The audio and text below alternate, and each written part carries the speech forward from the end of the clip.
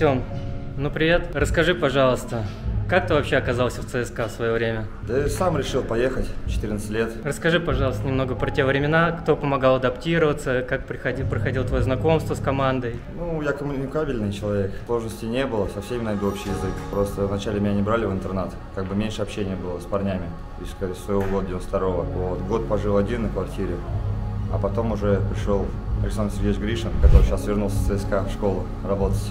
Он меня сразу взял в интернат. Там уже пошло-поехало, нормально. Как проходило твое знакомство с Основой?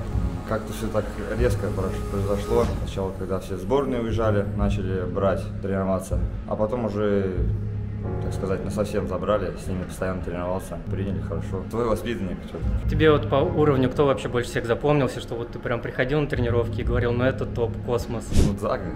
Загой, конечно, в первую очередь. Ну и Вагнер. Конечно, на тренировках он не особо тренировался, на играх делал результат каждую игру. Против кого на тренировках было сложнее всего? Против Вагнера, потому что я в обороне играл. С кем сейчас общаешься из нынешнего состава? Ну и вообще из тех времен тоже?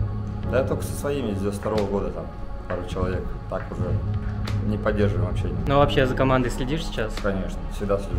Как тебе про Федотове? Ну вроде как пошло, пошла игра дай бог, будет держаться вверху таблицы. Из э, нынешнего состава кого, кого бы выделил? Чалов, наверное, сейчас Чалов более-менее так набрал форму, рад за него, пускай дальше работает, все получится него. Ну ты как думаешь, можем в этом сезоне за чемпионство побороться? Реально ли Зенитом попадаться? Ну, я думаю, по составу все равно еще как бы тяжеловато будет. Но как бы надежды не надо терять мы в них всегда верим, поэтому посмотрим. Немного давай о грустном. Вот ты был и в молодежке капитаном, и перспективы у тебя были такие, выходила в Лиге Чемпионов. Ну а почему в итоге так сложилось, что ты ушел? Ну это жизнь, футбольная карьера. У кого-то кого получается задержаться, у кого-то нет. У меня не получилось, так сказать. Ничего страшного, жизнь продолжается. Есть как есть. А сейчас чем занимаешься? Сейчас я учитель физкультуры в школе.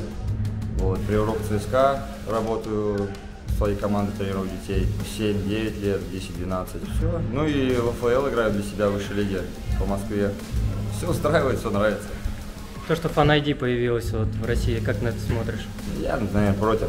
Зачем это усложнять жизнь людям? А напомни, пожалуйста, какой у тебя номер в ЦСКА? 59 Вот я стандартный вопрос всегда всем задаю. Почему именно такой номер выбрал? Просто мы раньше, когда из школы приходили в Дубль на сборы, ехали, а, там всегда в коридоре стояли сумки. И нам просто говорят, заходите, берите сумки. Я зашел, первый попавшийся взял 59-й. Так остался, я не менял его никогда.